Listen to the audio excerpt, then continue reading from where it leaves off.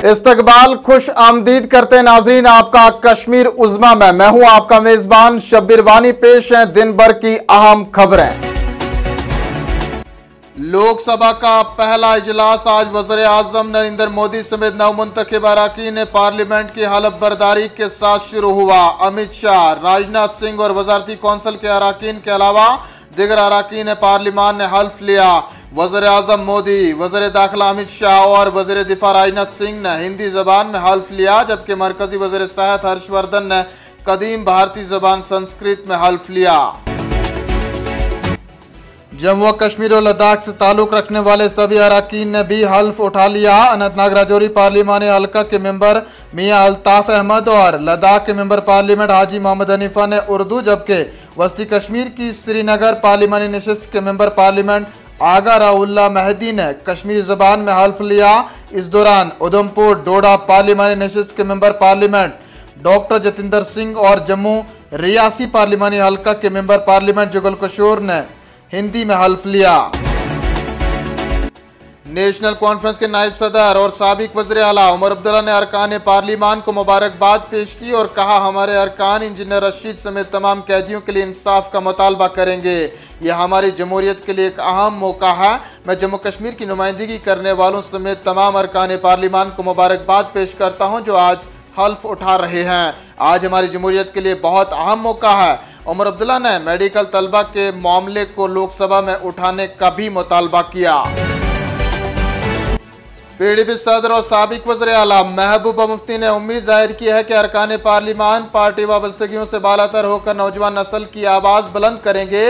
जिनका मुस्तबिल मकदूश नज़र आ रहा है। उन्होंने कहा, एक तरफ़ आज सैकड़ों अरकान पार्लिमान अपनी शानदार कामयाबियों के बाद हल्फ उठाएँगे, जबकि दूसरी तरफ़ मुल्क भर के लाखों तलबा बेबसी से देख रहे हैं, क्योंकि उनकी मेहनत रायगा हो रही है। महबूब मुफ्ती ने उम्मीद ज़ाहिर किया है कि पार्लियामेंट नौजवानों की मायूसी के बरक्स खड़ी होगी। इधर सिंध ताश माहे का अठतीस रुकनी वफद आज सख्त सिक्योरिटी बंदोबस्त के दरमियान कश्तवाड़ पहुँचा। ये वफद एतवार की शाम देर गए जम्मू पहुँचा था। पाकिस्तानी वफद और आलमी बैंक के ये अहदेदार दरियाई चनाब पर तामीर किए जा रहे पन बिजली प्रोजेक्टों पर जारी कामकाज का जायजा ले रहे हैं। नाजरीन, आपको बताते चलें। अठतीस रुकनी वफद की क्यादत एक गैर जानबदार माहिर माइकल मार्क कर रहे हैं।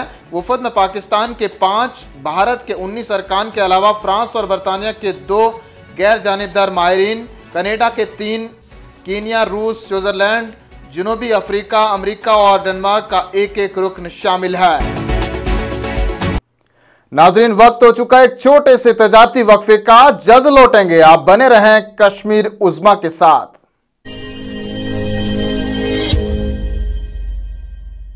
कशीर अंदर आला मयारच टेस्टिंग लैब यानी वन न तो टेस्टन खतर नेबर गसन न सैंपल नेबर सोजन total clinical diagnosis home sample collection तो महे डॉक्टर हज निगरानी GK labs the name you trust Yambarzal complex old coat road Lal Chowk Srinagar call करो 9622 double eight five triple eight पे या 9622 double eight six triple eight पे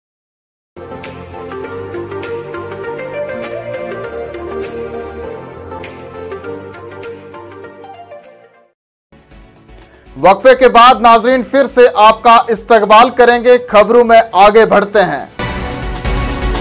शहर खास श्रीनगर के बोरी कदल इलाके में मस्जिद शरीफ तजारती कम्प्लेक्स और दीगर ढांचों को आतिजदगी से नुकसान पहुँचा है। फायर एंड एमरजेंसी के सीनियर अहदेदार ने बताया कि जायदा एक दर्जन गाड़ियाँ आग बुझाने की कार्रवाई में लगाई गई थी। वाका में मस्जिद शरीफ एक तजारती कम्प्लेक्स मुतद दुकानों और चंद रिहायशी मकानों को नुकसान पहुँचा है।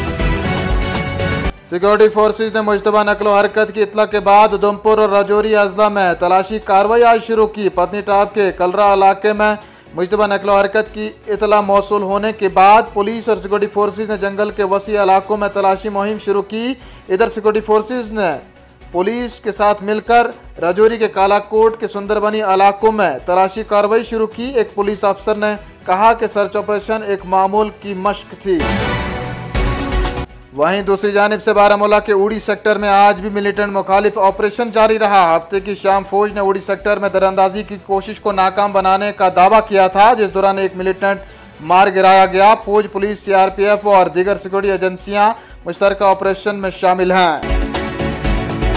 और चलते चलते नाजरीन को बताते चले, कुपवाड़ा सब जेल में गैस सिलेंडर धमाके में जख्मी एक कैदी, जख्मों की ताब न लाते हुए आज चल बसा एनडीपीएस एक्ट के तहत जेल में बंद सोपुर का कैदी 19 जून को कुपवाड़ा जेल में होने वाले गैस सिलेंडर धमाके में जख्मी हुआ था, जिस दौरान आठ दिगर भी जख्मी हुए थे। मुतफी की शिनाख्त शाहनवाज अहमद, वल्द सजाद अहमद सैकना डांगरी पूरा सोपुर के तौर पर हुई है।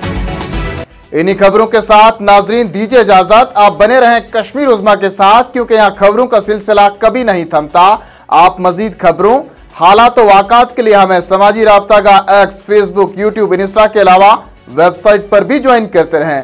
फ़िलहाल इतना ही।